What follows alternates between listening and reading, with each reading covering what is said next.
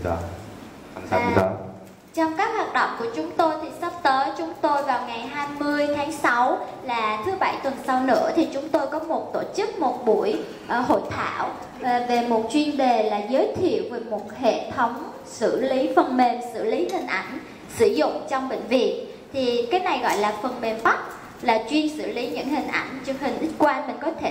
thể là chuẩn đoán bằng internet và cái mạng đó chính vì vậy và chúng tôi hy vọng rằng có thể là nhận được sự quan tâm của quý doanh nghiệp và đồng thời là một số những doanh nghiệp muốn quan tâm đến cái hệ thống phần mềm này thì hôm đó chúng tôi có một buổi hội thảo nhỏ thì hy vọng nhận được sự quan tâm của mọi người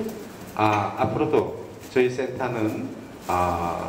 병원에 관련된 여러 가지 교육 자료 내지는 함께 발전할 수 있는 어, 아이디어가 있으면 계속해서 여러분과 만나서 어, 어떤 어떤 정보 교류